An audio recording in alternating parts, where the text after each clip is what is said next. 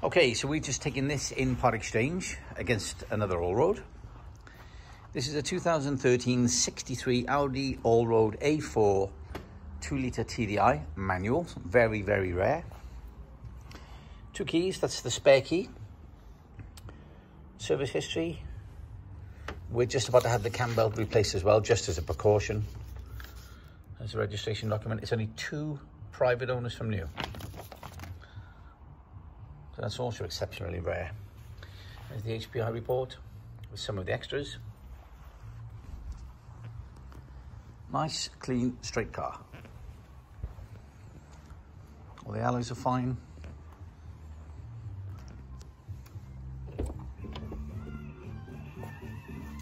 So inside, let's turn down. There we go. Right, so we've got part leather, part Alcantara, which is all in nice condition. Satellite navigation, I'll show you that from the other side in a second. All the door cards are nice. It's obviously a car that's been looked after, this one.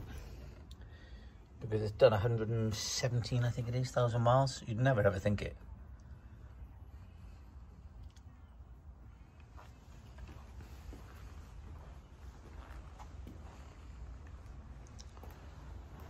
And we normally wouldn't sell a car that's done this sort of mileage, but because it's just two owners and it's been well cared for, we thought, well, we'll just have it here. Someone's going to get a nice car, and it is extremely rare being a manual. A couple of small dents on this door, which we'll try and get out, but we can't promise. But that's it. Apart from that, it's a nice straight car. Drives very, very well. As I say, we're going to get the, the all-important cam belt replaced in the next couple of days. Sorry, 119,000 miles, 119, 149. As I say, you'd never think it. There's no signs of wear in the ladder. This is Alcantara, so it's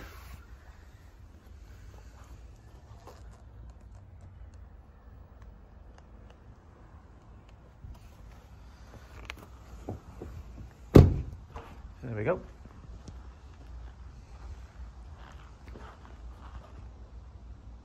Cheap Allroad for somebody. And a new MOT as well. Forgot to say that.